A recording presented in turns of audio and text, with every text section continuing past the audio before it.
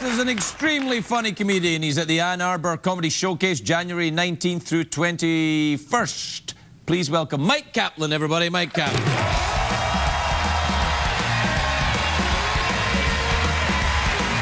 Thank you. Thank you. Thank you, everybody. Thank you so much. That was a very warm welcome. Sometimes you don't get that in comedy. I was performing once, and the, the host brought me up to the stage. They said, please welcome. He's, uh, he's had his own, what is it, an hour special on Comedy Central? And I was like, it's a, it's a half hour. and then somebody in the audience yelled out, you'll get there, buddy. nice intro. You guys are lovely. I uh, do me a solid, everybody. Is probably the weirdest way a doctor could ask you for a stool sample. Fun one with words. Great one, everybody. You're doing great. Words are pretty important. Words are really all that separate us from the mimes. language is tough. It's hard to learn as a kid. I, I, think the hardest language to learn would have been like ancient Egyptian, you know? Because uh, you, today you can sound out sounds by looking at the words, but uh, back then it was hieroglyphics. How do you sound out a picture? They're like, well, it's eyeball, dog, mummy's foot. Oh, C-spot run. I got it. There we are.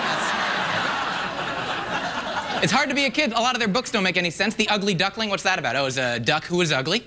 And then it grew up and found out it was beautiful, but also a different species. So, sort of an M. Night Shyamalan twist there, you know? Like, I don't know how that's supposed to encourage a kid. How does it inspire? Be like, hey, don't cry. Maybe you're not a hairy, ugly child. Maybe you're gonna grow up and find out you're a beautiful chimpanzee. What do you think? Huh?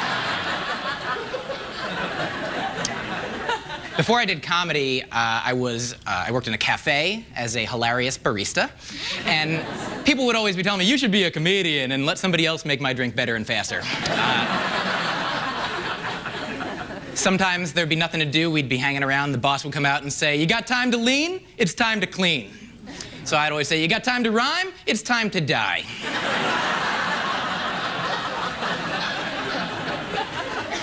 Had some other jobs. I. Uh, Talked to a street musician once, found out that you can make up to $60 an hour being a street musician, or up to $60 a minute robbing a street musician. So, a lot of options. I used to want to work for a bisexual non-governmental organization, you know, a B-I-N-G-O, and that one, that's just letters, everybody, not even whole words. So, having fun. I used to live with a girl. We, we didn't subscribe to the traditional gender roles where like the woman cleans things and the man fixes things. So we lived in a house that was broken and dirty. I got a fake number from a girl once. It was the square root of negative one.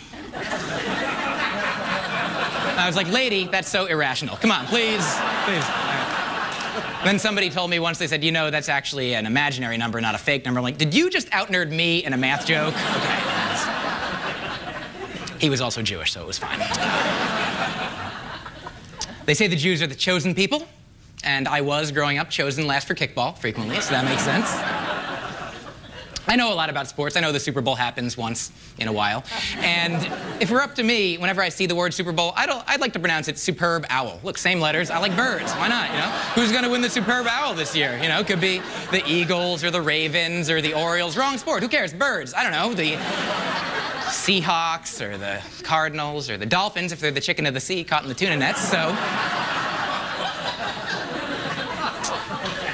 I know about sports, I just don't care. Like, if people talk about sports too much, I just zone out in my head. I'm just like, sports, sports, sports, sports, sports, sports, sports, sports, sports, sports, sports, sports, sports. Are we still talking about sports? And at least that is the sports music. You know, I'm not singing the wrong thing. I'm not like, sports, sports, sports, sports, sports, sports, That's from a movie. I like movies. I wish they would re-release the movie Groundhog Day. Just call it Groundhog Day 2, see what happens. People come out all mad. They're like, oh, I see what they did. hey, everybody. Thank you guys so much. My name is Myq Kaplan. You guys have been wonderful. Thank you so much, everybody.